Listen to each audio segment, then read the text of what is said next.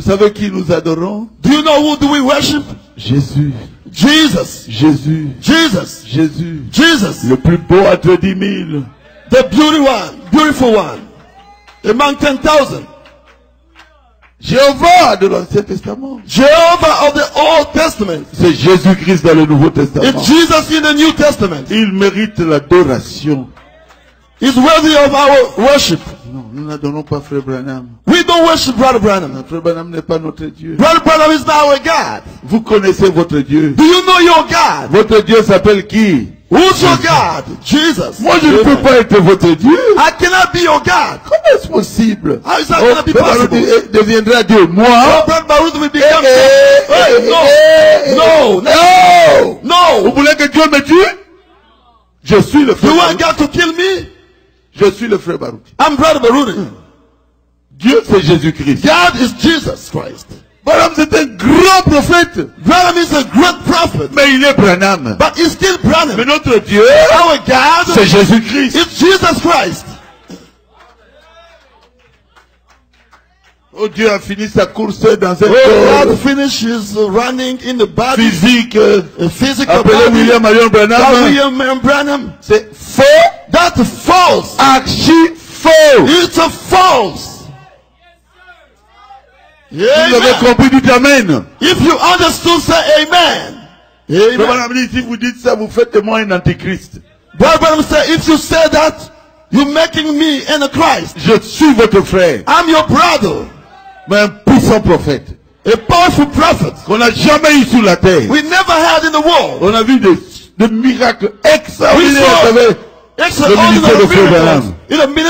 Branham. Mais il n'est pas notre Dieu. But it's not our God. On a un seul Dieu. We have only one God. Nous connaissons notre Dieu. We know who's our God. Son nom est Jésus-Christ. His name is Jesus Christ. C'est lui qui veut vivre en vous. He's the one who wants to live inside of Le you. Christ de Saint-Esprit, The Holy Spirit. c'est Christ en vous. It's Christ in you. L'espérance de la gloire. The hope of glory. Je m'arrête là. Aujourd'hui, yayi Jésus a terminé sa course. En entrant dans un mutu appelé William. William. Marion. Marion. Branham. Branham. C'est la forme physique. Donnez-moi un amen pour que je prêche. Oya boye taliye. omema Euh, très chers frères et sœurs, que le Seigneur vous bénisse richement. C'est votre frère, le pasteur Difoko du ciel. Je viens en ce matin, après avoir euh, observé un petit silence, parce que la Bible dit, en temps de crise, les sages restent calmes. Mais ça ne veut pas dire aussi qu'on doit rester calme tout le temps, parce que euh, la chose qui s'est dit, les choses qui s'est dit sur les réseaux sociaux nous amènent quand même à intervenir pour essayer d'éclairer le peuple de Dieu. Et ceci c'est en rapport tout d'abord, un, avec une déclaration que j'ai dû faire où je disais que Jésus-Christ a terminé sa course dans l'homme appelé William Marion Branham. Alors euh, cela a posé pas mal de questions de la part des frères, que ce sont même des frères du message. Et pire que ça, et je crois que ça, j'aimerais y intervenir vers la fin sur cette déclaration-là. Mais il y a quelque chose d'autre qui est plus grave, parce qu'il y a des frères, je ne sais pas si c'est des frères, ou des pasteurs, des bishops, des évêques, qui ont posté des choses sur les réseaux sociaux en disant euh, voici il faut que voici, voici, voici, voici. Et on a pris une affiche de quelqu'un dans lequel on a écrit ceux qui adorent au nom du Seigneur Jésus-Christ, ils adorent le diable parce que le nom nouveau de Jésus-Christ, c'est le Seigneur, euh, c'est William Maron Branham. Et on a pris cette affiche, on a coulé en disant que c'est moi qui ai publié ça. Beaucoup sont allés loin pour dire que c'est ce que je mets même devant mon église ou ce que je mets sur mon, compte Facebook pour que les gens voient ce que je crois. Et il y en a même d'autres qui ont dit, finalement, il faut que là, il chante des choses, autre chose, et il prêche autre chose. Alors, tout d'abord de un, je voulais dire ceci. Moi, votre frère, il faut que je n'ai jamais eu de compte Facebook. Je ne suis pas dans des réseaux sociaux. Justement pour éviter tout ce que nous vivons là. J'aime bien la vieille méthode du christianisme. Cette vieille méthode qui consiste quand tu as un problème contre ton frère, tu le cherches et tu lui poses la question. S'il n'écoute pas, tu amènes un deuxième. S'il n'écoute pas, tu amènes un troisième. Et afin, on le déclare devant l'église ou soit il faut l'excommunier, vous l'excommuniez. C'est cette vieille méthode que moi j'apprécie et j'aime. Parce qu'aujourd'hui l'Internet, euh, vous êtes votre propre réalisateur, il n'y a pas de censure, il n'y a rien. Euh, vous brisez la loi, vous pouvez citer le nom des gens, des incriminés comme ça. Et avec l'Internet, on ne demande jamais pardon. La vie continue telle que ça y est. Je n'ai jamais eu de compte Facebook, ça c'est en un. Et en deux, je n'ai jamais, jamais publié une telle horribilité. C'est horrible. Et à ce frère, ou à cette personne qui a dû dire cela en mon nom ou mettre cela en mon nom, je voulais simplement lui dire, si c'est une blague qu'il a fait, c'est vraiment alors une blague de très très mauvais goût. C'est vraiment une blague de très très très mauvais goût. Et si c'est un frère qui l'a fait pour nuire à son frère, euh, vous savez quand euh, les frères ont traité frère Branham de Seigneur Jésus-Christ, la personne du Seigneur Jésus-Christ, et qu'il fallait désormais commencer à baptiser les gens au nom de William Aaron Branham, frère Branham a dit que ces genres de personnes étaient possédés par des esprits impies. Là, c'est seulement pour faire de frère Branham le Seigneur Jésus-Christ. Ils étaient impies. Mais qu'en est-il quand vous prenez, vous dites que votre frère a dit que le nom de Jésus-Christ, c'est le diable?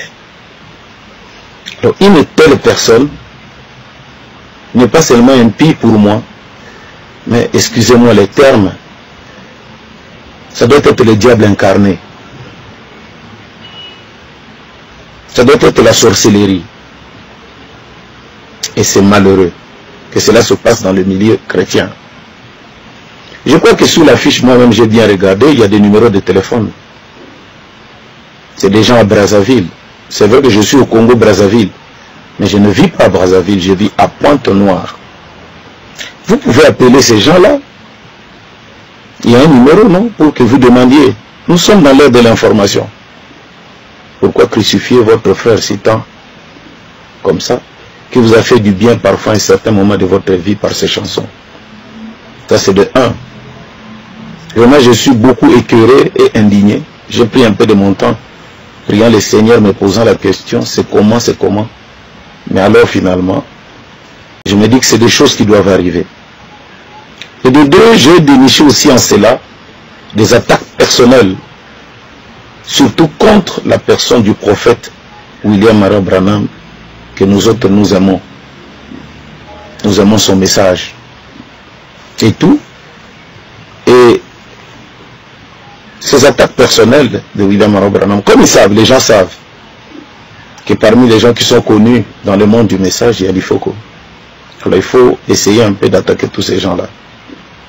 Il n'y a pas de problème là-dedans. Les attaques, c'est si, mais ce genre d'attaque où on dit qu'il faut quoi dit, a dit, a dit, je me suis mis un peu euh, calme pour dire, bon, d'autres réactions d'autres personnes, c'est compréhensible. Parce que si moi-même aussi, j'avais vu une telle affiche où on traitait le Seigneur Jésus-Christ de diable, j'aurais réagi, mais tout d'abord en étant chrétien, j'aurais tout d'abord appelé ces gens-là, au lieu directement de passer et de commencer à injurier les uns et les autres.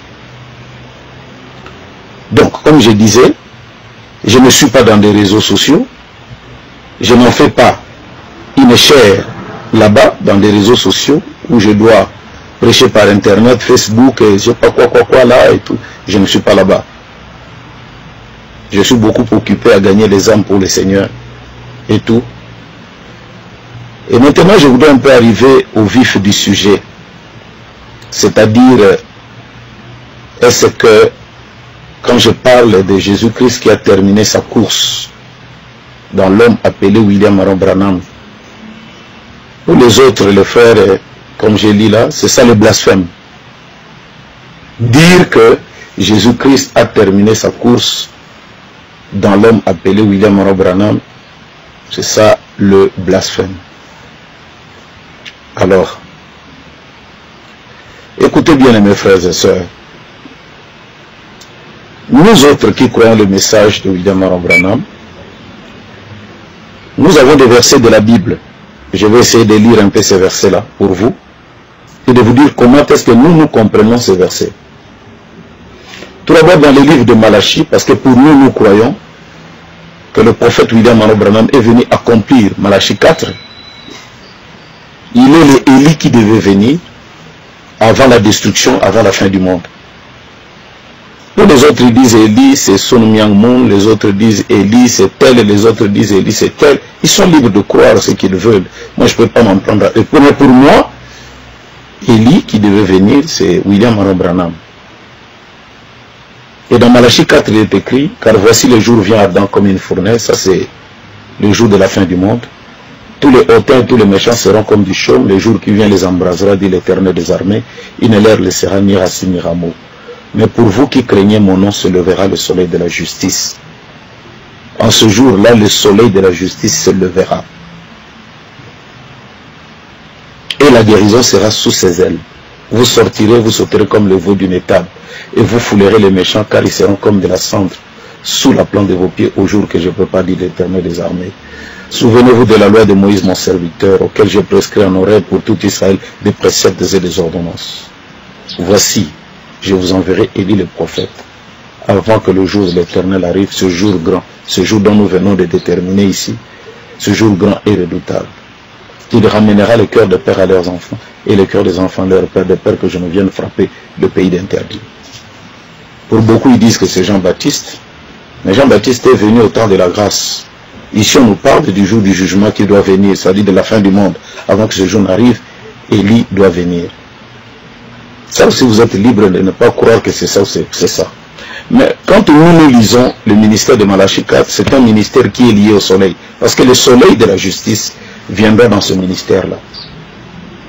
Alors, pas simplement ça, nous croyons aussi ce qui est écrit dans les livres, je vais lire ici, dans la Bible, dans le livre de Matthieu 24, verset 27.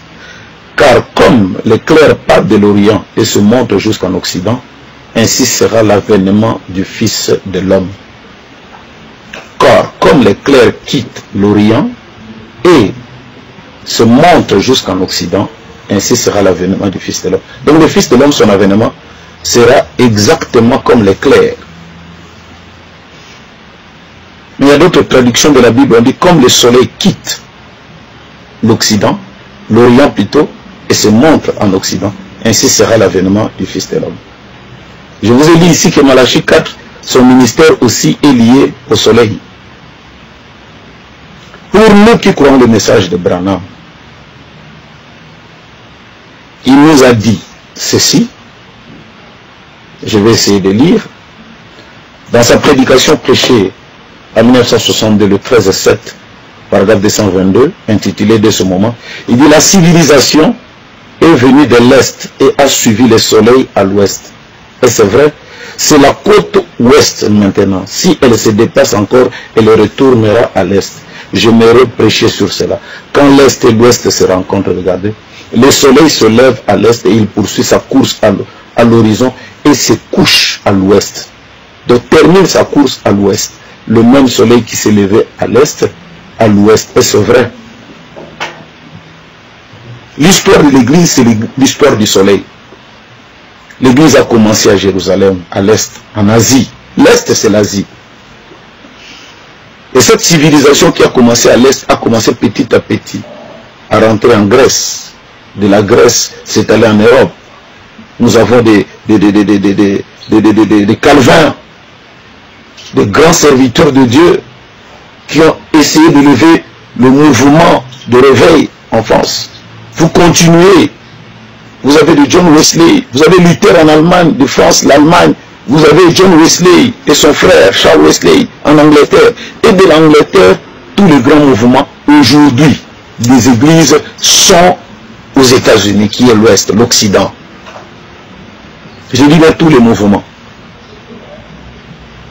Tous les mouvements des églises sont aux États-Unis.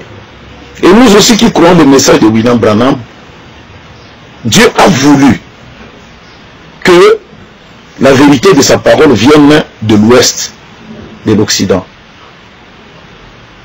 Je vais relire encore d'autres citations. Comme ça, s'il y aura des attaques comme ça, ça serait bien que vous vous attaquiez à Frère Branham directement et nous allons savoir de quoi il s'agit. Il dit dans sa prédication Le filtre d'un homme qui réfléchit, prêché le 22 8 1965, paragraphe 1, il dit Merci frère Mann, toutes choses sont possibles. Crois seulement. Prions au Dieu. C'est vraiment le désir de mon cœur ce soir de croire tout simplement. Tandis que nous sommes rassemblés ici ce soir dans ce tabernacle, le soleil vient de se coucher à l'ouest. Nous te prions Dieu bien-aimé de nous donner, de réaliser combien nous sommes proches du temps où le soleil se couchera sur, sur le temps. Il arrive à la fin de sa course. Le jour est très avancé. La dernière civilisation, la dernière civilisation, c'est l'Ouest, c'est les États-Unis. La civilisation qui a commencé en Chine, les grandes inventions aujourd'hui, c'est les États-Unis. Dès que ça quitte les États-Unis, c'est directement en Chine.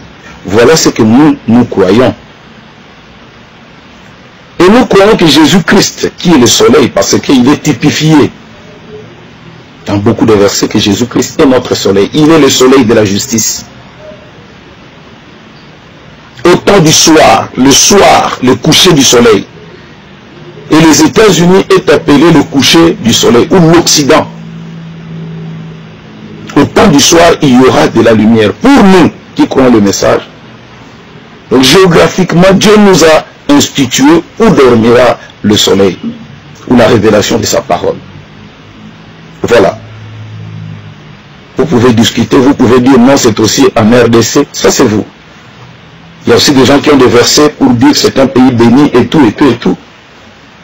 Moi aussi en tant que Congolais, je pouvais dire ça. Mais, il s'avère que pour nous, on a vu, parce que si cela s'avère être en RDC, il y a des caractéristiques. C'est Jésus-là, ce soleil, s'il se couche, il termine sa course à l'ouest, comment est-ce que ce ministère avait commencé à l'est Pour que nous puissions l'identifier à l'ouest? Nous avons vu ce ministère n'a pas seulement prêché la parole de Dieu, il n'a pas simplement guéri les, les malades, les morts sont ressuscités, mais il y a eu quelque chose d'un peu particulier. C'est ce qui est arrivé devant la femme samaritaine. Ils attendaient de voir ce ministère-là. Ils attendaient. Et un jour, la femme retrouve un homme habillé en robe, comme tous les autres hommes d'ailleurs. Et cet homme-là lui dit, femme, donne-moi de l'eau. Donne-moi de l'eau. Et la femme dit, nous n'avons pas de relation avec vous. Si tu savais le don gratuit, et c'est lui qui te parle, tu m'aurais toi-même demandé de l'eau. Seigneur, donne-moi de l'eau. Va tout d'abord m'appeler ton mari. Un vrai prédicateur, c'est celui qui ne prêche pas une femme seule. Il cherche toujours son mari pour mettre la garantie, pour ne pas tomber. Et c'est Jésus qui nous a donné cet exemple. Va me chercher ton mari. Je n'en ai pas. Tu as dit vrai. Tu as eu cinq femmes. Tu en as eu six. Tu en as eu six, cinq. Et même celui qui est à la maison n'est pas ton mari. Donc six.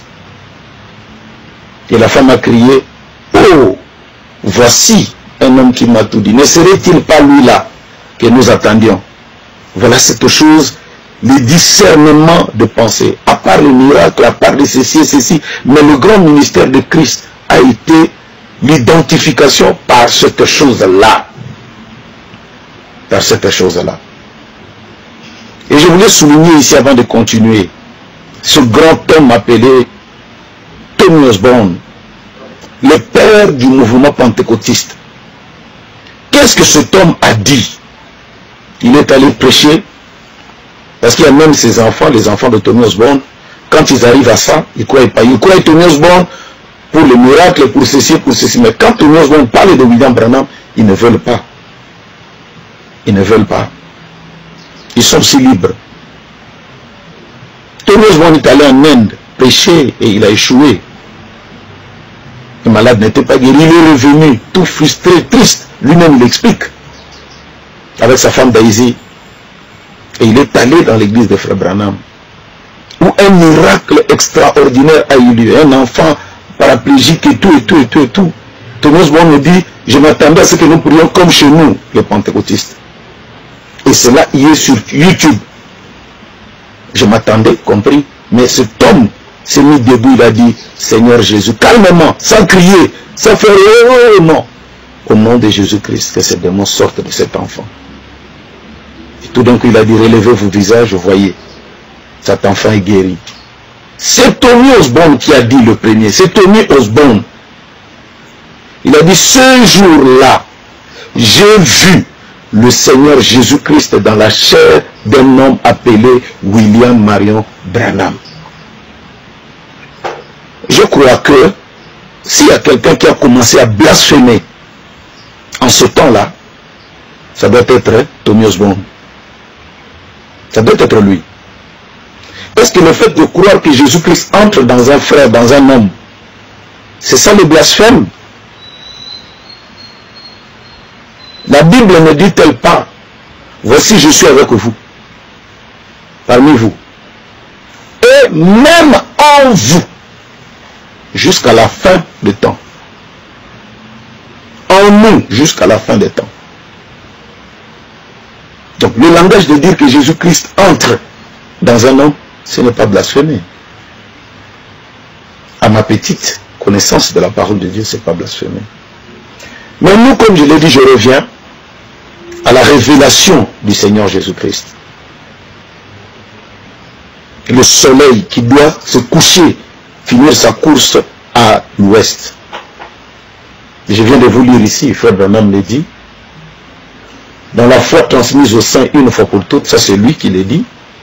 Prêcher le premier saint 1955, paragraphe 50, vers le bas, je vais prendre juste le bas, il dit, il en est de même de l'église de Dieu ce soir, puisque le la même foi qui fut transmise au sein une fois pour toutes est transmise aujourd'hui. Le soleil s'est levé à l'est. Ils embellissent leur voix en dehors de cela avec leur théologie. C'est un jour qui n'est ni jour ni nuit, mais le prophète a dit, vers le soir, où se couche le soleil à l'ouest, où se lève-t-il à l'est Qui était le premier à recevoir le Saint-Esprit autrefois, là au commencement Qui est ce peuple oriental, les Juifs, les Grecs et les autres Qui les reçoit dans les derniers jours, quand le soleil se couche Les États-Unis d'Amérique, la dernière civilisation. Donc c'est ça pour nous la dernière phase du ministère du soleil. Et comme on le dit, la Bible dit, ce qui arriva du temps de l'autre dans Sodome et Gomorre arrivera de même à la fin des temps. Elle arrivera de même à l'avènement du Fils de l'homme. Comment le Fils de l'homme se révélera? Comment il va se révéler? Qu'est-ce qui s'est passé du temps de l'autre Abraham a commencé à intercéder pour son neveu. Et tout d'un coup, il voit trois hommes qui viennent. La Bible dit qu'il y a eu trois hommes. Mais l'un d'eux était Dieu qui était entré dans un homme. C'est ce que la Bible nous dit dans les livres de Genèse. Et il est venu devant Abraham et il a parlé avec Abraham. Il a parlé, parlé, parlé, parlé pour aider son frère l'autre.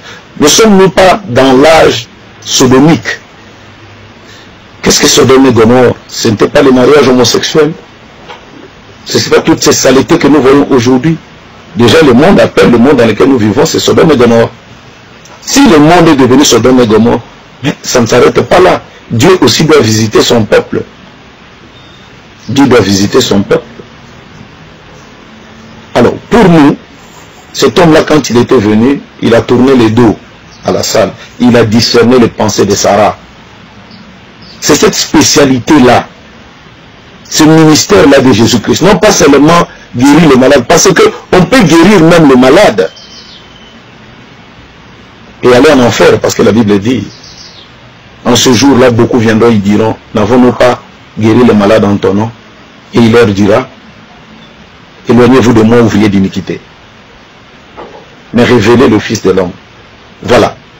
Cette manifestation du Fils de l'homme par le don du discernement. 2000 ans l'Église a circulé comme ça. Mais voilà qu'un homme, un primérien, qui n'a pas étudié, est venu sur la scène. Les Américains même n'ont pas compris ce ministère. Ils ont appelé ça de la télépathie.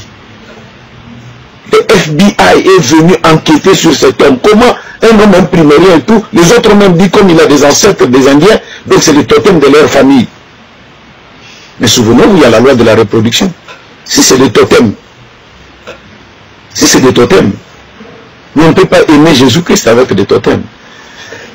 Excusez-moi, c'est incompatible. Alors ce ministère-là, Frère lui-même le dit ici, ce ministère-là doit se révéler dans sa prédication de procès. Parce que même là, même dans le milieu du message, nous sommes encore en discussion avec nos frères. Les autres disent que le Fils de l'homme s'est révélé aussi dans l'Église. Moi aussi, je le crois. Il s'est révélé dans le corps de l'Église. Parce que la Bible dit, tout ce qui était en Christ, en, Dieu, Dieu l'a déversé en Christ. Tout ce qui est en Christ, Dieu, Christ l'a déversé dans son Église. Je le crois. Mais ici, il s'agit ici de révéler le ministère du Fils de l'homme qui prend l'attrait particulier du discernement des pensées. Lui-même, il le dit dans le procès, paragraphe 209. Je ne dis pas que votre pasteur ou quelqu'un d'autre recevrait le don de discernement. Ils n'ont pas à faire ça, ce n'est pas leur appel, ce n'est pas leur appel faire cela. Il doit y en avoir un seul dans un âge. Et ça, je dis à tous les frères qui croient vraiment le message véritablement, de soutenir ce genre de choses. Ce n'est pas l'IFO, c'est le prophète qui a parlé. Il dit que votre pasteur peut prier pour les malades, il peut prier les aveugles, se mettre debout. Mais quant au discernement, et ce discernement ici, ce n'est pas le discernement de juger les dons de la prophétie. Non. C'est Dieu qui discerne les pensées des cœurs des gens. Devant Abraham, il l'a fait. Devant la femme samaritaine, il l'a fait. Il a parlé de son passé et tout. Les médiums essayent de faire ce genre de choses aussi. Mais ils ont une mauvaise vie. Parce que le diable, c'est un imitateur. Dans la fête des trompettes, il ajoute encore, il dit, paragraphe 215, prêcher le 19, 7, 64. Le dernier signe qu'Abraham, et nous sommes la sémence royale d'Abraham, l'épouse, le dernier signe qu'Abraham a vu avant que le signe promis arrive, que le Fils arrive, c'était quoi Dieu sous la forme d'un être humain qui pouvait discerner les pensées des gens? Un seul homme, pas une douzaine, un seul homme. Peu importe le nombre d'imitations, ils en ont eu un seul. Il a discerné le fond de leurs pensées. Qu'est-ce? Et qu'est-ce qui s'est produit ensuite? C'est qu'Abraham et Sarah sont redevenus un jeune homme et une jeune femme. Ça, nous le savons. Voilà. Il dit bien, je sais que vous la trouverez un peu dure à avaler, celle-là. Mais souvenez-vous, juste vous, pour bien m'assurer que vous le savez, ne lisez pas la Bible comme ceci. Lisez entre les lignes et voyez pour voir, pour que le tableau apparaisse. Ça, c'est nous autres qui croyons, frère Bernard, nous savons que ce don-là, il n'y en aura pas sur une douzaine de gens, mais sur un seul homme. C'est comme du temps de Daniel, non? La femme a dit au roi, dans ton royaume, tu as un seul homme. Et cet homme-là, il y a des lumières autour de lui. Voilà. C'est celui qui peut interpréter les choses difficiles. Donc pour nous, nous croyons. C'est vrai que nous avons encore des discussions parmi nous dans le milieu du message. Non, il faut qu'il y ait aussi beaucoup, il faut qu'il y ait. Mais Frère Benham attire notre attention sur les imitateurs. Sur l'imitation. Nous avons l'habitude de chanter que à l'ouest le soleil se couche. Il arrive à la fin de sa course. Et je vois combien ce temps est là. C'est le temps du coucher du soleil. C'est la fin, c'est la fin, c'est la fin de la course. C'est la fin, c'est la fin, c'est la fin de toute chose. Le Rhin, c'est la lumière du soir. À l'ouest, pour moi apparue. Elle manifeste le Fils de l'homme. Et je crois, c'est vrai, je le crois. C'est la fin, oui, c'est la fin de la course. Mais cela n'empêche, c'est un contexte du ministère. Vous prenez une prédication de deux heures, vous coupez juste une petite partie, vous dites, voilà, et vous collez une photo. Ça, mes frères et sœurs, c'est de la malhonnêteté spirituelle. Excusez-moi. C'est de la malhonnêteté. Je crois que même ce pasteur-là, il voudrait bien mettre, son église voudrait bien qu'il soit Jésus-Christ en chair. Parce que la Bible dit dans 1 Jean 4, je crois, si je ne me trompe pas, Petits enfants, reconnaissant ceci, un esprit qui vient de Dieu. Tout esprit qui confesse que Jésus est venu en chair, c'est un esprit qui vient de Dieu. Et tout esprit qui ne confesse pas cela, c'est un esprit d'antichrist. Jésus-Christ doit être dans notre chair. Moi, votre frère, je prêche pour ça. Dans un contexte de la vie, que Jésus aussi termine sa course dans ma vie. Mais ça, c'est un contexte du ministère de Luc 17-30 là où Dieu devait révéler sa parole. Ça, tout le monde ne peut pas le faire. Dans un âge, un seul, voilà. Donc je crois que j'ai essayé un peu d'expliquer les choses. Je crois au Seigneur Jésus-Christ. Quand je chante plein succès à Jésus-Christ, je ne fais pas des, des, des, des matalana, je ne fais pas, je ne veux pas que les gens voient qu'il le veut, qu'il le veut, qu'il le veut. Non. Donc je dis ici à tous les frères et sœurs, les jeunes gens, parce que on se rend compte que moi, j'ai une église à Pointe-Noire, une grande église, par la grâce de Dieu, des jeunes gens. Je leur avais interdit d'entrer dans des réseaux sociaux. Parce que je trouvais que ces discussions infertiles, des injures, ceci, ce n'était pas chrétien. Mais je crois que je dirais à ces jeunes gens-là qui allaient suivre cette vidéo, vous devez entrer dans ce monde-là. Entrez, par la grâce de Dieu, entrez, et il n'y aura rien. Essayez un peu de répondre à ces choses. Parce que quand, vous savez, c'est Abraham Lincoln, nous-mêmes, euh, des grands écrivains, ont dit un mensonge, plus on la répète, plus on répète, on répète, on répète, ça risque de devenir vérité. Je crois au Seigneur Jésus-Christ et je crois à son envoyé. La vie éternelle qui te reconnaisse, toi le véritable Dieu, et celui que tu as envoyé. Paul a dit, n'aie pas honte de moi. Donc je n'ai pas honte de croire que je crois le message de William Branham. Je chante. Si mes chansons étaient mauvaises, c'était des balivernes. Aujourd'hui, beaucoup d'artistes n'allaient pas prendre ça pour chanter. Et s'ils chantent, c'est parce qu'ils trouvent que notre message, et beaucoup de frères du message sont des gens sérieux. Sérieux, je dis bien sérieux, et je pèse bien mes mots. Moi-même, j'ai un témoignage, je me suis marié. Aujourd'hui, j'ai à peu près 27 ans du mariage. Vous n'avez jamais entendu, il faut que là-bas, il faut que c'est à cause du message là. C'est parce que j'ai Christ en moi, j'ai Jésus-Christ dans ma vie. Et je prêche que Jésus-Christ doit s'incarner dans ma vie. Pour vivre sa parole dans ma vie. Voilà un peu, frères et sœurs, cette chose qui, je demande à tous les jeunes, les jeunes, le forum du message, prenez un peu cette vidéo et essayez de répondre à ces gens-là. Si vous voulez vous en prendre à William Branham qui a dit que celui qui révèle le ministère du Fils de l'homme, un seul, pas deux, prenez-vous-en en lui ou alors attaquer le prophète. Mais ne me faites pas dire ce que moi je n'ai pas fait, ni ce que je n'ai pas dit. Je n'ai jamais, jamais, jamais, mes prédications sont dans le YouTube. Vous ne verrez jamais en aucun jour où j'ai dit au nom de William Aaron Branham. Au contraire, je prêchais. Parce que Frère Branham dit, si vous venez dire que Seigneur, me voici, je viens au nom de William Aaron Branham, vous serez rejeté du ciel. Voilà. C'est ce que je crois. Mais dire que Jésus-Christ est entré dans la chair de William Branham, ça je crois ça. Et je crois que Dieu aussi est entré dans ma chair pour vivre sa parole. Parce que la Bible déclare, voici je suis avec vous. Et même en vous, jusqu'à la fin des temps. Et pour terminer, je ressouligne les paroles de Thomas Bond. Ce jour-là, j'ai vu Jésus-Christ marcher sous les rues de Kentucky dans un homme appelé William Marion Branham. En premier voir Thomas Bond et ensuite traiter-les de démons et traiter-les de tous les noms.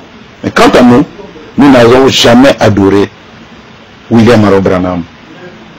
L'adorable, le louable l'élevable, c'est le Seigneur Jésus-Christ. Et en qui je vous salue au nom du Seigneur Jésus-Christ. Que le Seigneur vous bénisse richement et merci. À tous les frères, euh, ça fait mal à beaucoup de gens, beaucoup de gens qui ont entendu, et l'autre même a dit, j'ai vu des déclarations, il faut attraper, il faut qu'au mandat d'arrêt. Bon. Euh, Qu'est-ce qu'il faut dire en cela? Qu'est-ce qu'il faut dire? Il y a des gens qui croient que le Saint-Esprit c'est un homme, il est dans le bas Congo. Est-ce que vous les avez attrapés? Donc voilà, la Constitution dit que chacun est libre d'exercer sa religion. Aussi longtemps que cette religion n'entrave pas la sécurité du territoire. Parmi nous-mêmes, nous avons ce combat-là avec les gens qui adorent Branham. J'ai été atteint que j'ai prêché et j'ai dit ouvertement devant les gens que ceux qui adorent William Branham sont des lépreux. Et je ne le fais pas parce que moi je veux me cacher. Non. C'est la stricte vérité. Que le Dieu de William Branham vous bénisse richement. Son nom c'est le Seigneur Jésus-Christ. Merci et avec vous, pour vous. Avec Dieu, pour Dieu? La promotion de toute œuvre spirituelle, l'œuvre chrétienne, c'est nous.